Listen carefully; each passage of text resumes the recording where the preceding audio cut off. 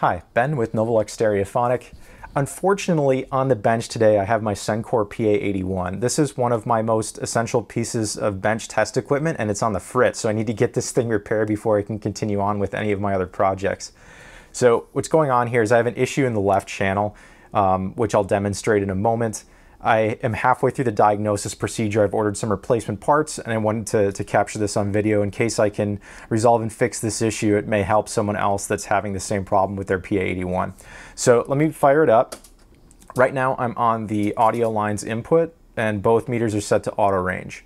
I'm feeding the same, same signal into the left and right channel, but only the right channel is responding.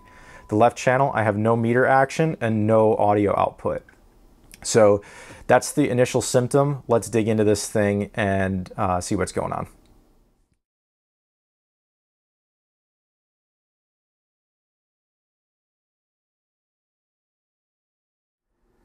So in front of us, I have the left channel of the PA81's input section.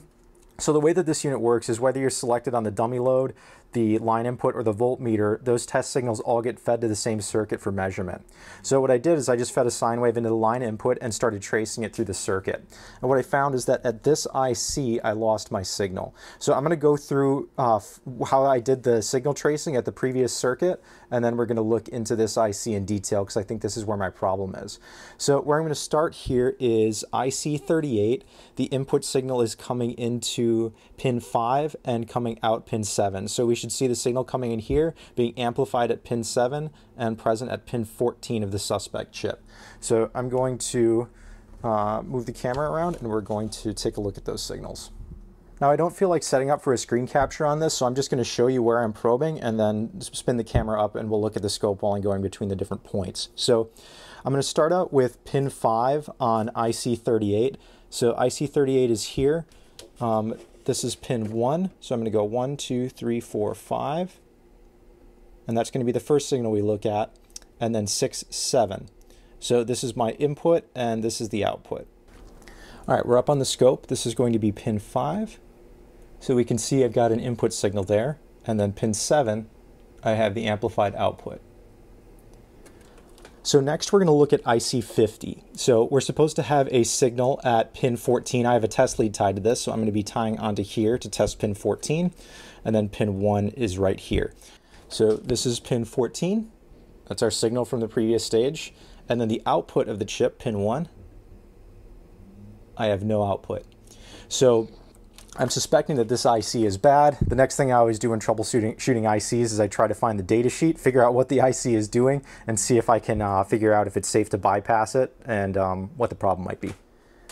So after looking up this IC, which is an MC14053B, I determined that in this circuit, Sencore is using it as a triple double pole double throw logic controlled switch. So basically it's three small signal switches in one package that are controlled by um, high and low signals from a logic, uh, logic output.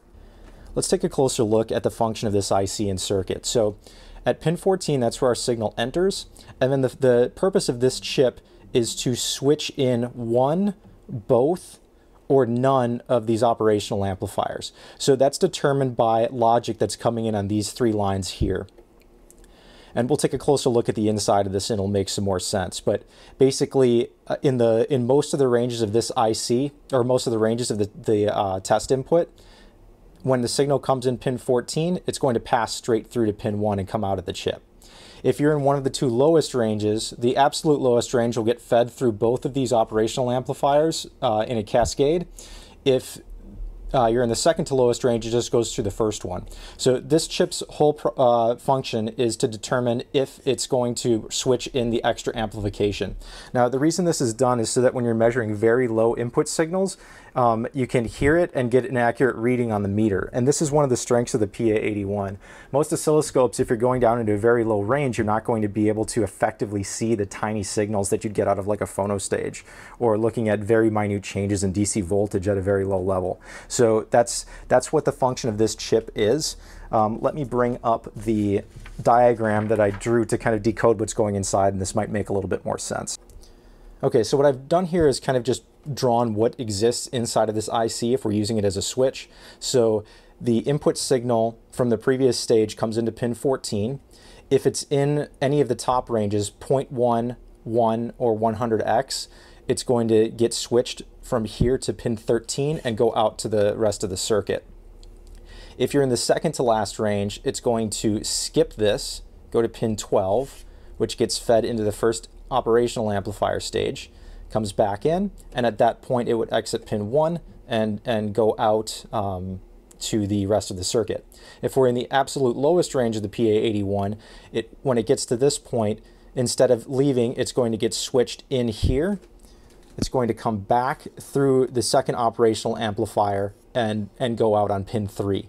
So regardless of which um, amplifier is activated, pin 1, pin 3, and pin 13 are all tied together at the output. So whichever one of these is active, those pins all lead to the output, um, which is shown here.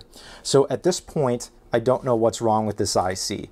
If it is having trouble with some of the internal switching or if it's logic control. So that's what I'm going into next.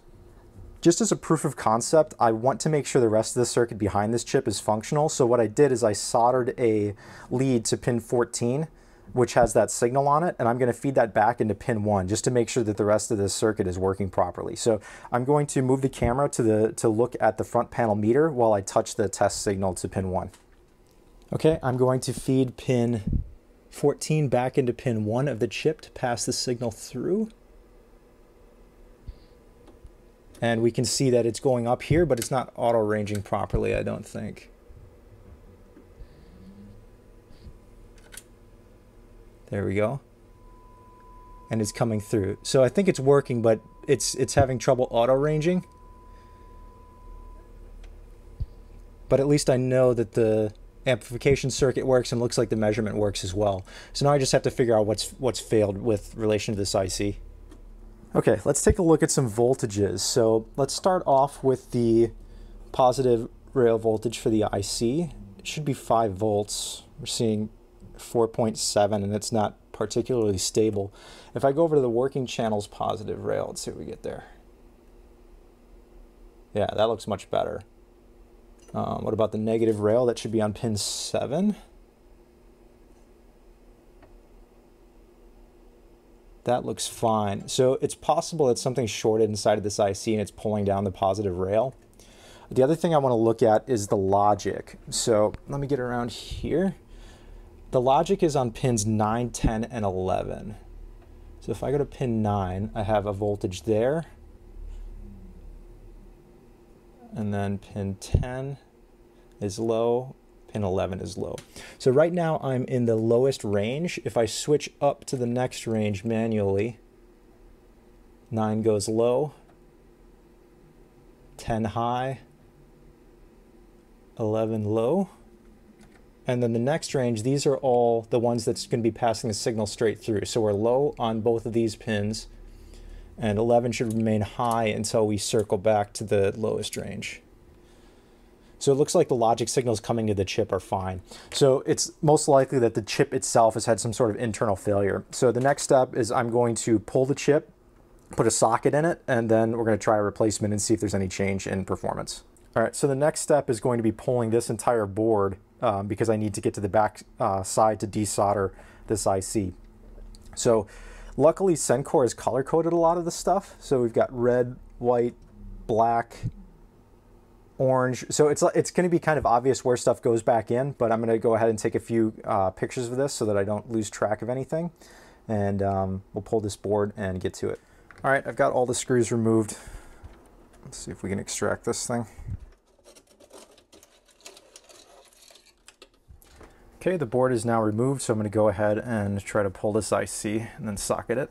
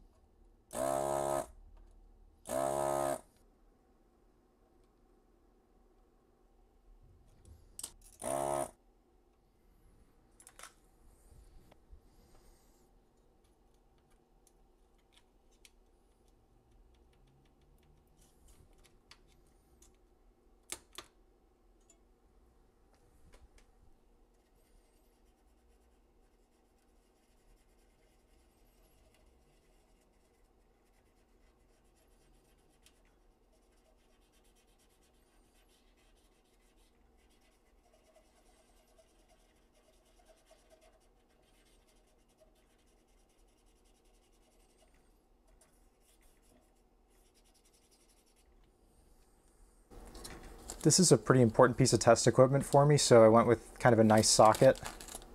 See it in a minute, but this is the part number.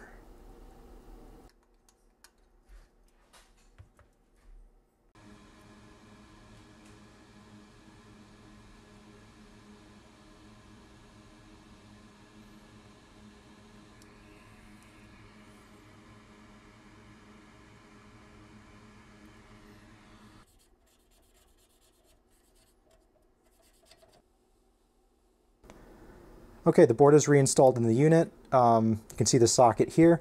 While I was in there, I also socketed the other IC from the other channel. I figure if this IC has failed once, it may fail again in the future. So I might as well put a socket on the other channel while I'm in there. Next up, I'm going to install a replacement chip. Uh, this is basically the same partner number from TI, and it uh, had all, all the same pinout, same voltage, so this should be a good swap.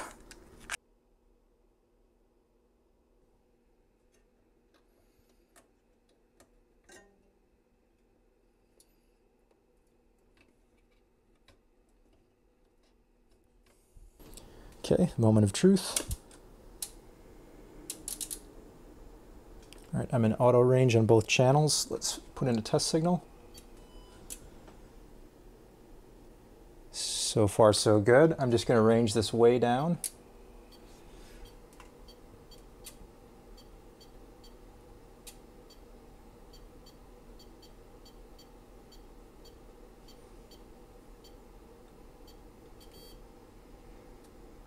Good. So I think that did the trick. Let's see what happened to that positive supply. Okay. Well, that's quite a bit better. Let's check the logic signals. Yeah, so, I mean, the proof is there, it works. So there must have been something shorted inside of that chip. Okay, now I'm going to put it back up at the bench into position and just make sure that it's um, all working properly. When I uh, was doing my initial diagnosis before I ordered the parts, that little wire that I had in, I soldered in and actually jumped it from pin 14 to pin 1. And what happened is I had just a ton of noise. So I think when I bypassed it, whatever was going on inside of that IC was causing other issues. So um, when we put it back up here, we'll see if the output is clean on both channels. Got the PA81 back up in its spot on the bench and hooked up to my scope down here, and it looks like everything's good. So my outputs are clean. Before this was all like hashed and, and, and ugly. So there must have been some sort of uh, issue with that chip that was affecting uh, both channels, or maybe my jumper that I had put in caused uh, caused it to become a noise antenna. In either case, that IC replacement seems to have fixed the issue. Just as a demonstration of how sensitive this device is, I'm going to put my signal generator down to the lowest level it can do, 2 millivolts peak to peak. and we can see it's in the, the lowest range. Let's see if I get the trigger a little bit more stable here. And it's displaying the, you know, it can amplify that signal so I can hear it of noise behind it, but it's working really, really well. So this PA81 is back in business. Um, thanks for coming along with me on this one. I'm glad I could figure this out, and hopefully if someone's got the same issue, I can uh, give them a little shortcut to getting their PA81 back up and running. Thanks again for stopping by the channel. See you in the next one.